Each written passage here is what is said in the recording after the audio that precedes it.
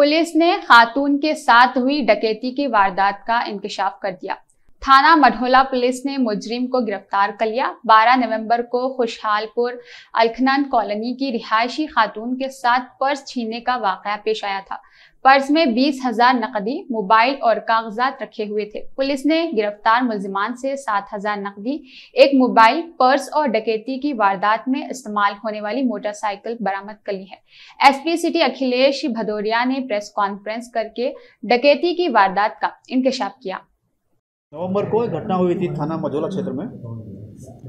एक महिला से दो बाइक सवार, इन्होंने एक पर्स छीना था, जिसमें इस महिला के कुछ पैसे थे, एक मोबाइल था और कुछ ज़रूरी कागजात थे।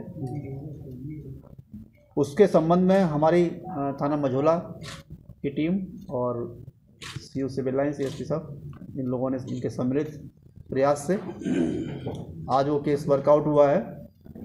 एक अभियुक्त उनमें से पकड़ा गया है। और एक फ़रार है, जो पकड़ा गया है व्यक्ति, उसका नाम राजकुमार है। ये ग्राम पांडली थाना पाकवाड़ा वहाँ का रहने वाला है, जो फ़िलहाल ये Dewan and Sons farm garage Manoharpur पुलिया के पास ये रह रहा है। इसके कब्जे से हम लोगों ने एक मोटरसाइकिल जिसे उन्होंने लूट की थी, स्प्लेंडर मोटरसाइकिल है ये, काले रंग की, वो बरामद हुई है, जो मोबाइल छीना गया था, वो बरामद हुआ है, जो बीस हज़ार रुपये उस महिला के पर्स में थे उसमें से सात हज़ार रुपये बरामद हुए हैं। वो पर्स भी बरामद हुआ है और जो अन्य कागजात थे ये सारी बरामदगी हुई है। तो एक अच्छी सफलता थाना मझोला पुलिस को मिली है। इसके लिए मेरी तरफ़ से उनको बधाई। है युवक का आपराधिक इतिहास क्या है? ये पूर्व में भी एक बार 2020 में जेल गया है और ये थाना मझोला से ही लूट के मुकदमे में इससे पहले भी जेल जा चुका है और पुनः इस वारदात में इसका नाम आया है और इससे बरामदगी हुई है?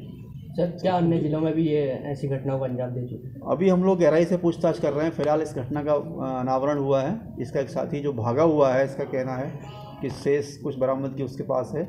ये व्यक्ति बाइक को चला रहा था। बाइक इसकी थी लेकिन जो दूसरा व्यक्ति था छिनेती उसने की थी। तो उसको भी हम लोग अभी तस्दीक कर रहे हैं। अभी उसका जो इसने बताया था एड्रेस वो अभी तस्दीक नहीं हुआ है। तो उसको पता करके हम लोग और गहराई से चौबीस घंटे में दो बड़ी घटनाएँ मुजोला पुलिस ने खोली हैं सर। तो इसमें कोई रिवार्ड वगैरह कैसे पुलिस टीम को सर? मैं जाने जाने की घोषणा इन इनको इनको आ, कुछ रिवार्ड भी एस एस पी महोदय की तरफ़ से दिया जाएगा उनसे अनुरोध किया जाएगा। निश्चित रूप से पाँच हज़ार का इनाम इनको दिलवाया जाएगा। ठीक है थैंक यू।